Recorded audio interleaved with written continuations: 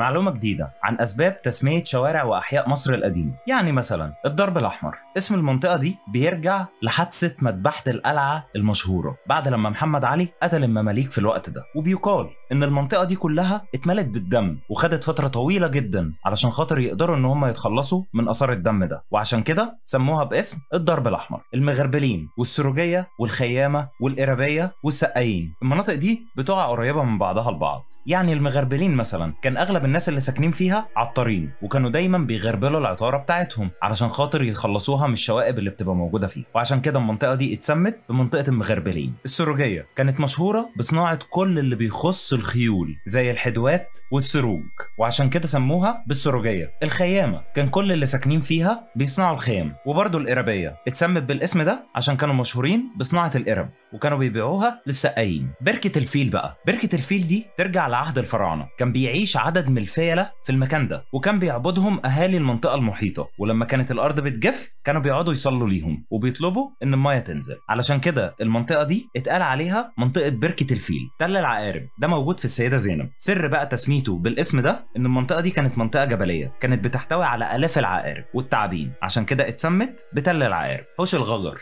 المنطقة دي ورا سور مجرى العيون. مكان تقريبا شبه مغمور محدش يعرفه. وعلشان كده كانت بتيجي قبائل غجريه كانت بتطرد من الصعيد ومن الأماكن اللي زي كده كانوا بيجوا يهربوا علشان خاطر يستخبوا. فلما كانوا بيهربوا للقاهرة كانوا بيستخبوا في المكان ده. والمكان ده اتسمى بعد كده باسم حوش الغجر ضرب المهابيل. اتسمت المنطقة دي نتيجة لوجود محلات بوظة كانت كتيرة جدا في المكان ده. كان أغلب الأهالي بيروحوا هناك علشان خاطر يشربوا بوظة. فكده كانوا بيبقوا كلهم سكرانين. في الوقت ده اتسمت بضرب المهابيل ضرب البربره اتسمى بالاسم ده نتيجة نوع السكان اللي كانوا ساكنين فيه. كانوا جايين من دول قريبة أو أفريقيا وكانوا مشهورين بالفقر الشديد يعني كانوا فقراء جدا وكانوا بيشتغلوا في خدمة الأهالي اللي هم في الوقت ده كانوا موجودين في ضرب اسمه ضرب الأغوات واللي كان بيسكنوا الأغوات ومعظم رجال البلاط الملكي اللي هم صفوة القوم زي ما بيقول العباسية كانت بتتسمى بأرض الطبالة وكانت من أغنى وأجمل مناطق القاهرة. وفي سنة 1849 أنشأ عباس حلمي الأول سكنات للجيش ومن الوقت ده واتسمت العباسية وبعد كده اتقسمت لأحياء. الفسطاط جاية من كتاب أصل الأشياء وليها قصة تانية. بعد فتح عمرو بن العاص مصر جات له قصة طريفة بترجع لتسميتها بالفسطاط لما قرر المسلمون إن هم يرحلوا ولقوا عش يمامة على فسطاط خيمة عمرو بن العاص فأمر الجنود إن هم يسيبوها ومن الوقت ده اتسمت بالفسطاط واتبنى فيها أول مسجد في أفريقيا باسم عمرو بن العاص. خان الخليلي اتسمى بالاسم ده نسبة لمؤسسة الأمير جركس الخليلي وهو أحد أمراء السلطان برقوق. وبيضم خان الخليلي مساجد ومعالم أثرية وأسواق وموجود فوق مقابر الخلفاء الفاطميين زمان. حلوان اتذكر برضه في كتاب أصل الأشياء إن حلوان أنشأها عبد العزيز ابن مروان سنة 67 هجريا 686 ميلاديا وإنه اضطر للانتقال للفسطاط في السنة اللي ظهر فيها الطاعون واختار ليها ابن مروان اسم حلوان لأنه شاف إن موقعها شبه موقع مدينة حلوان اللي موجود في العراق. العجوزة. ده حي من أحياء الجيزة. بترجع تسميتها إلى نزلي هانم بنت سليمان باشا الفرنساوي مؤسس الجيش المصري في عهد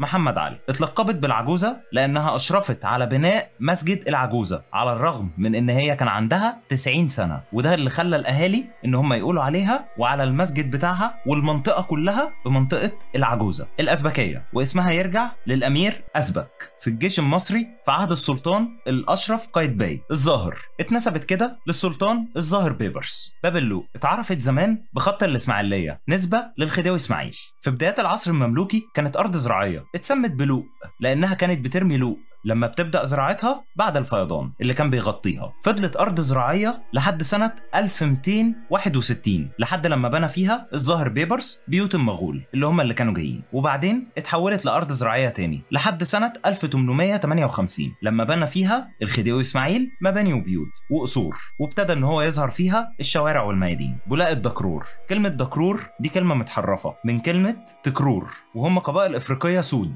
جم مصر من غرب أفريقيا. اتعرفت زمان باسم يمنية بولاق وبعد ما عاش فيها شيخ اسمه أبو محمد يوسف ابن عبد الله التكروري في العصر الفاطمي. اتعرفت ببولاق التكرور سنة 1863 اتحول مجرى النيل والدولة هدت المساكن في بولاق التكرور سنة 1868 عزلت الناس للمكان اللي موجود فيه دلوقتي المتحف الزراعي وبيتقال إن ضريح الشيخ يوسف التكروري موجود هناك. أثر النبي بيتسمى بالاسم ده عشان موجود فيه حجر قديم عليه شكل رجل. بيعتقد الناس إنها أثر لقدم سيدنا محمد عليه أفضل الصلاة والسلام. اتنقل الحجر ده للجامع اللي بناه الظاهر بيبرس واتبنى فوقيه قبة لسه موجودة لحد دلوقتي. وفي الحي ده كمان موجود دير مسيحي مشهور اسمه دير الملاك. الإسماعيلية. اتنسبت للخديوي إسماعيل من أحياء القاهرة القديمة. كان بيمتد من حي الازبكيه وشارع عابدين للنيل وقناة الإسماعيلية اللي كانت بتبدأ من شمال موقع متحف الآثار المصرية اللي اتردمت. الخديوي إسماعيل عمل الحي ده على النمط الأوروبي وعمل الأراضي بتاعته مجانية للي يتعهد إن هو يبني بيته وتكون قيمته مش أقل من 1200 جنيه في 18 شهر.